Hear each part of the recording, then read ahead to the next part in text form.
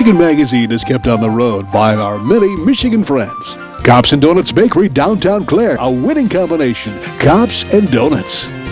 Experience the beauty, artistry, and taste of Northern Michigan. Come to Amish Country Natural Products on Mount Tom Road, north of Mio, just off M33. From arts and crafts to fresh foods and vegetables, all natural, all local, all good.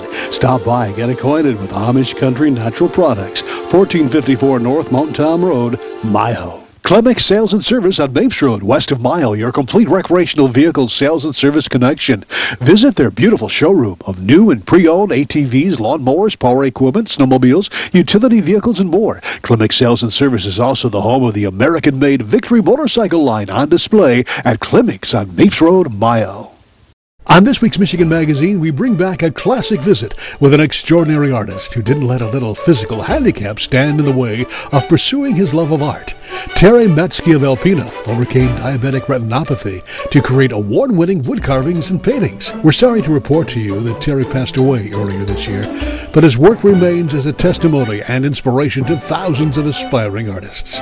Then on the show, our geocaching guru, head hard hat Andy Smith, has some tips for you aspiring geocachers. It's all coming up on Michigan Magazine. Hale Hardware, your do-it center in Hale, Michigan. Much more than a regular hardware store, providing everything you need for whatever your project is, along with a knowledgeable sales staff to get her done. Serving Northern Michigan since 1946. Hale Hardware, south of M65 at Ainsley in Hale. There's adventures around every turn, and if you're looking for something for you and the entire family, be sure and visit the Cedar Valley Golf Course and the Wild Frontier Fun Park on Weaver Road in Comins. Play 18 holes of world-class golf at the beautifully maintained golf course, Cedar Valley, tucked away amongst the hardwoods of northern Michigan, and at the same time, let others in the family enjoy themselves at the adjacent Wild Frontier Fun Park with carnival rides, a batting cage, bumper cars, and a 19-hole mini golf course. Check them out online. It's a northern Michigan destination. He's a true Michigan inspiration, artist Terry Matzke of Alpena. Despite failing eyesight, Terry continues to carve wonderful slices of Michigan outdoors. The beauty of our state and its wildlife is what keeps calling him to develop his artistry, which in turn is an inspiration to others. Well, there you have it, a beautiful rendition of the chickadee. Many people are thinking about making this the Michigan state bird, but you never know. The robin is, uh, has got seniority and it always will probably. But anyway, it's almost like it will hop off the, the uh, stand here and go into flight and uh, do its little dance it does in the wintertime. We're with Terry Matzke of Alpena. Terry, you are the carver of this item Yes, here. I am. and thank you for allowing us into your uh, home studio, a combination here. And you do wonderful work. How long have you been carving like this, Terry? Almost 20 years. 20 years. Tell us about the progress, how you got into it, and uh, how you developed your skill. Yeah, it's kind of a strange story. I started carving when I was off work for six months, learn, uh, trying to save my eyesight. Uh-huh. And I just started carving on big things because that's all I could see at the time. And it just mm-hmm. kind of developed over the years. About f- four years ago, I got in with the Thunder Bay Wood Carvers, and oh. there, in a group with everybody that does the same thing, you pick up on the other people's talents and mm-hmm. learn a lot more. So what, what, what, I know you do more than wood carving, you also do paintings, Yeah. but what got you into the wood carving? Uh, What was the inspiration? Uh, always when I was a kid, I always had a jackknife. Uh-huh. You're walking in the woods, you pick up a piece of wood, and whether you just carved a little design in it, or when it's sitting on uh, deer blind, take a piece of scrap wood and carve something out of it while you're sitting there waiting for a deer to come out. Uh-huh. Just, you know, I just always had a fascination with trying to make something out of wood. And this area of the States is, is not lacking in wildlife or inspiration, No, is it? Something to look at, yeah. You mentioned that you had a little eye problem. Was that uh, something serious? or- Diabetic retinopathy, Okay. yeah. Uh-huh. That's at, at, at times I've lost the sight in both eyes. I only have the Mm-hmm. eyesight in the right in the left left eye right now. Totally blind in the right eye. Hmm But you have the vision to create such beautiful items like Yeah. this. And you mentioned the Thunder Bay uh, Carvers. Yeah. Uh, a group like that is pretty supportive. I mean, would you suggest that that is something that uh, was really inspirational in your life as far as... Yeah, it helped out. feedback. Yeah, because you uh, the carving over there. One of the guys, the the links there. Okay. One of the guys in the carving club entered that in the competition down at the Oscoda Carving Show on me. I just sent it down to show, and one of the guys entered it, and it took a second place ribbon. Oh, wonderful. and I never thought I had the talent to compete Uh-huh. with the people that had you know good eyesight. So Uh-huh. Uh huh. And you get a lot of good feedback too, as far as uh, inspiration from other people, and uh, that you learn from. People Right, everybody's got their own idea. If you got a problem with something, you ask how somebody else has done it, and they uh, come back with their idea or how they would do it, and it always gives you somewhere to start at least, or a different way to approach it, Mm-hmm. Doing it. I like the way you approach this and put the whole kind of a, a whole scene into the situation. Yeah, here. He's they got like himself. to do that, to have not just a lot of carvers, just have basically a piece of wood on Right. The base with, with it, wood attached to it, and I kind of like to make something a natural setting. Uh-huh. Is this something that you saw yourself in the wild or in No, your mind's just, eye? Just, just in my mind's eye. Yeah. yeah. Just, just kind of come out of, just kind of built it as I was going. Oh, wonderful. And you're working on a fish, too, I see Working this a rainbow trout. A rainbow trout, uh-huh. Uh-huh. And you've had experience in catching some of those, or is that in your mind's eye, too? no, I, I actually caught one this size at one time years ago with my dad fishing up in the UP Oh. River. Uh-huh. And it's just something. Uh, one of the one of the guys in the carving club gave a class on carving half a bluegill in it last spring. Oh. And it just kind of developed into carving whole fish and. There seemed people seem to have a liking for the fish. There's so many people fish around here that Mm-hmm. it's something that Is this uh, more or less, is this one piece of wood, or is this sections? This right now is one piece of wood. Mm-hmm. The side fins, the two up here and the two down here will be attached later. I see. Those will come out of a piece of wood like this, Okay. which, well, not that, but this. Mm-hmm. This here will become a side fin later on. So it would, these are some of the basic tools that you uh, began just- with? Yeah, nice. I do pretty much all my work. About the only thing I use a power tool on is I use a little bit to hollow out the mouth in here because I'll Mm-hmm. put tongue in there later too. Mm-hmm. Open mouth. Pretty sharp tools, I bet. I noticed a Band-Aid on your Yeah. thumb, They seem to cut through whatever gets in the way. Uh-huh. Uh, let's take a little bit from the raw stage here. I see here you've got a couple of things. Uh, this is pretty much what your, your carvings do start out like, Yep, aren't just they? a block of wood. Yeah. Okay. That that's what this was not too long ago. Oh, really? This what kind of wood is this? Uh, basswood. is that a pretty good wood to uh, work with as far as Yeah, it's a it's a nice it's pretty durable for holding up into shape after you get it done, but it also is is a fairly easy carving wood. Mm -hmm. And then you kind of rough it out in a situation like right. this. Is that what it is? kind of get cutting sometimes two dimensional. Get get this cutting profiles, so you get a lot less cutting to do. Mm-hmm. So when I started carving wood, I didn't have anybody to cut it out, so I'd start from this form and Mm-hmm. spend a lot of the time just getting it down to that shape. Mm-hmm. And the detail is really, I I think, is really wonderful that you do into the birds and things of this sort. Where do you get? Uh, uh, is it from pictures, or do you get skins? Yeah, or, um, some of the different magazines I've gotten. I've gotten Birders World magazine. It's a big help. Oh, for that is getting wonderful. Real, yeah, colors to get into true to life colors. Yes, and I, I'm also impressed by the spoons here that you have. Now, what got you into this and the carving of the detail of these spoons? Uh, just seen some that somebody else did Wow. one time down at the Oscoda Carving Show, and so I was "Got to try that." Mm-hmm. Uh, is this- do? Basswood too? Or? Yeah. Wow. That's basswood. I'm want to try and do one out of butternut later. It's Mm-hmm. your grain. Hey, what, what, is this bass too? Uh, that's Jelutong. That's a different wood. One of, one of the guys in the carving club um, gets that wood. He worked at a factory and it was shipping crates, really? so it gets recycled. Really? That is great. And you get most of your wood from uh, just uh, where? Just local lumber friends companies? or- Mm-hmm. around here, yeah. They're Just, uh, sometimes you get somebody cuts a tree down the, down in the yard or something, and basswood isn't a real good firewood. Uh-huh. So uh, a lot of guys will donate it, you know, give it to you. Is this the same as this type of wood? or? Yeah, Okay. yeah, just a darker stain. Just a darker stain on it. Boy, incredible work here. You lose yourself in your carving, I bet. I mean, You do, you Yeah. do, you do all your, lose all your daily daily problems. It's a good way to relax and not think about what's going on in the world. Right. Come home and you get done, you know, working on this, and you look at the clock and it's 11 o'clock, 11:30 at night already, and it's like, wow, where'd the time go? What's your favorite type of wood to carve? Is it basswood or do you Uh, yeah, I guess basswood. a...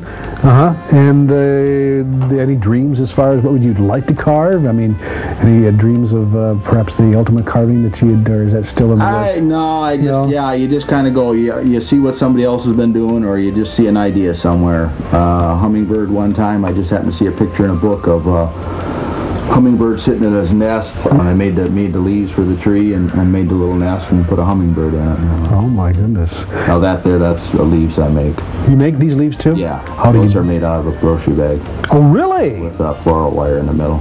Oh, no kidding. Together and then paint them. Where do you get these ideas and tips? Uh, that was one of the lady in the craft store had a had a rough idea on that, but she was doing it a little bit different way, and it's just something that I developed. Uh-huh. Wonderful work. And are you also into painting? I see you have a love for lighthouses too. Yeah, I just um, seen Bob Fagan from downstate, Oh, yeah. watercolor artist, going around the state doing lighthouses. Well, when I started looking around, I didn't realize there were so many lighthouses so close. Mm-hmm. You know, I did, didn't realize. I knew there was always the Presque Isle Lighthouse here, but Right. you know, and I just started doing the same thing. Go go on site, do a sketch of it, and then uh, take some pictures and take jot down some colors and come home and do the painting of it. My goodness! And now you are at probably the best location for lighthouses in the state because There is. There's so many. Lighthouse right, you're right here in town. Yeah. So you Yeah. go there and get ideas and see what other people are doing. There's so many local subjects Oh yeah, that's that's that's amazing that how many people are into lighthouses nowadays. Yeah, too, yeah. And the history, it's just Yeah, to hear the stories of uh, all the guys Oh, that actually work there. Any future of maybe uh, carving a lighthouse out of wood or? I Or don't know. Yeah, the carving of one. Uh, I, I've seen one of one of the guys, Howard Lottie, in the carving club, uh, carved one one time, and we used it for the top of a friendship cane. But there's only so much you can do. It doesn't look. Yeah, Yeah. yeah.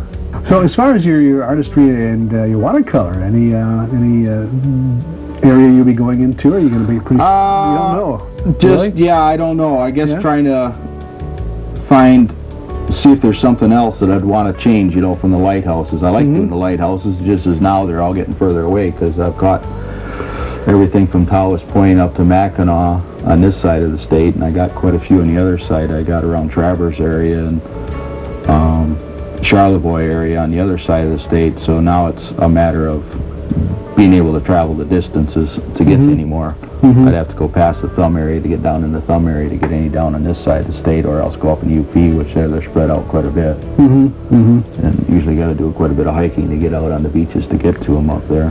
Yeah. Most yeah. of them are pretty. Oh, what strikes you? I know you don't do just lighthouses; you do wildlife and everything. Well, when you see something that you want to plant, is there something that, that hits you, you that you'd like to get that done? Do you do any sketching beforehand? You, a lot of times I like to do an on-site sketching. Get it there and take some notes, Yeah. and then take some photographs like this. I get the photographs, so you got something. Some of the first paintings, uh, the lighthouse, first lighthouse painting was Mackinac there. I bought a postcard while I was up there, Okay. and uh, the then I got to where I started taking pictures on site after I did the sketch. Yeah. Yeah.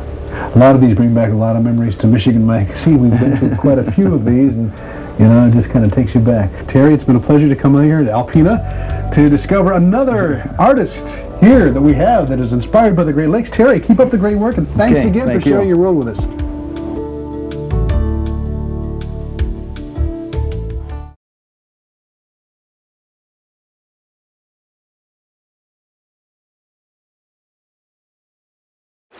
Michigan Magazine is being brought to you in part by Cops and Donuts Bakery, downtown Clare. What began as a crazy idea among nine police officers to purchase the historic Clare City Bakery quickly became an international phenomenon, carrying on a Michigan tradition with delicious donuts, pies, pastries, breads, original coffee, and more. Plus a full menu at the new adjacent Traffic Stop Diner. Downtown Clare, a winning combination. Cops and Donuts. The Michigan-made rebounding mailbox pull. Never again worry about the winter snowplow taking out your mailbox with this ingenious rebounding pull. Your mailbox takes a hit and keeps coming back year after year. Call now or visit their website, toughmailboxes.com. Welcome to Geo Snippets for Michigan Magazine Television. I'm Head Hard Hat. In the next few minutes, we're going to give you some interesting information and tidbits about the game, the sport, yes, the obsession, known as geocaching. Well, in today's episode, we decided to just go geocaching. The sky's blue, the sun's out, the birds are singing. It's time to just go out and find some geocaches just cuz. And that's exactly what we're going to do today. Let's start now.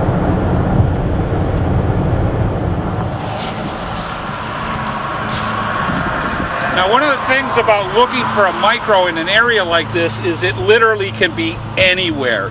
So it could be in loose bricks, it can be in tops of fences, it could be anywhere. This particular one is right here. A 35 millimeter micro geocache. We're going to sign the log and move on.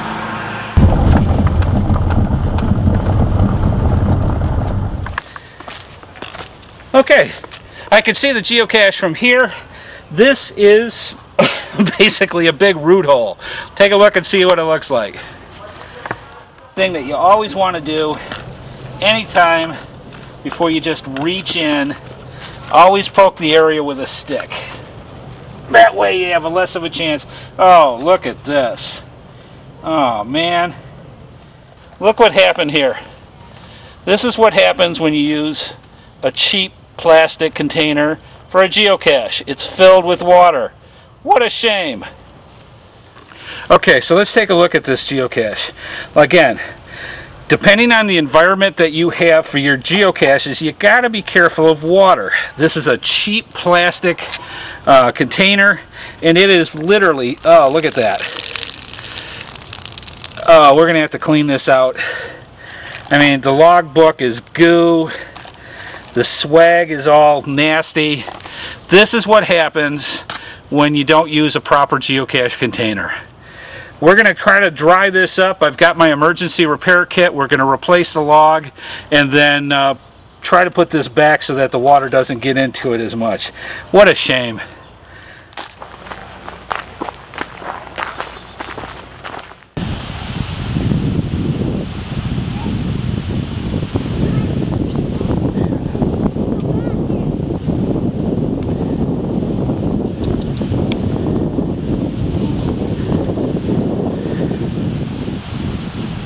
Okay, we're at the next geocache, and this one's really cool. Check this out. Here's a rope tied to the tree, and it goes up.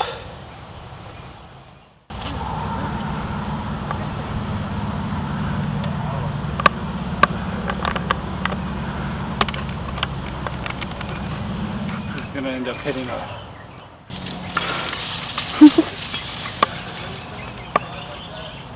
How cool is that?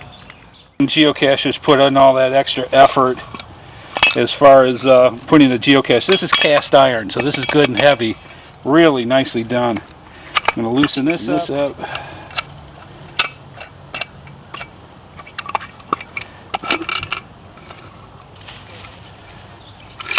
A brand new geocache too. This is nice. Here's a logbook, some assorted swag, and oh, oh even check this out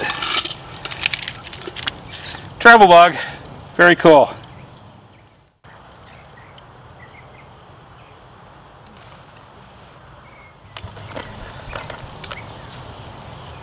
One of my signature swag items I like to trade are first aid kits. Miss Geoness wants this. We'll trade up. Okay, so let's quickly go over what we learned today we learned that it's fun going geocaching just on the spur of the moment. Make sure you have the right supplies with you, of course, but just going out finding five or six geocaches can be really rewarding. Like say for example today where we ran into that one geocache that was hung up in a tree and then those fawn were just a couple of feet away from us. What an amazing shot. Well, folks, it's time to go. This is Head Hard Hat for Geo Snippets and Michigan Magazine Television saying we hope to see you out on the trails real soon. Bye-bye, folks.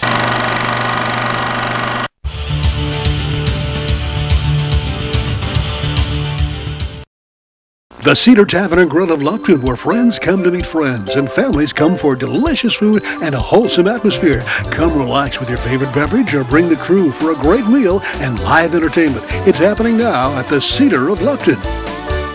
Hinchman Acres Canoe Livery and Resort on M33 just north of Mio, catering to the outdoor enthusiasts. Cabins, canoes, kayaks, rafts, and more. Daytime or overnight trips along the world-famous Au Sable River. A family getaway for over 75 years. Thanks for joining us on this autumn day in Michigan. It's a beautiful time to get up and get out to explore the bountiful harvest, accented by a backdrop of wonderful, breathtaking colors. Don't forget to check out all the great fall events throughout the state by going to Michigan.org. Type in your zip code, it'll tell you exactly what's going on in your neighborhood. You can also sign up for the latest Michigan travel guide for free, sent directly to your mailbox anywhere in the country.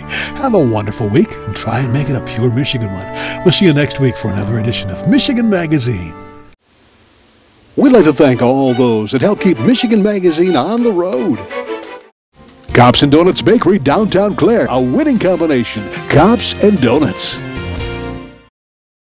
Rose Valley Winery on Beechwood Road in Rose City. See what thousands are raving about, creating a delicious variety of award-winning Michigan wines. Stop by and taste for yourself. The taste of Michigan is yours at Rose Valley Winery.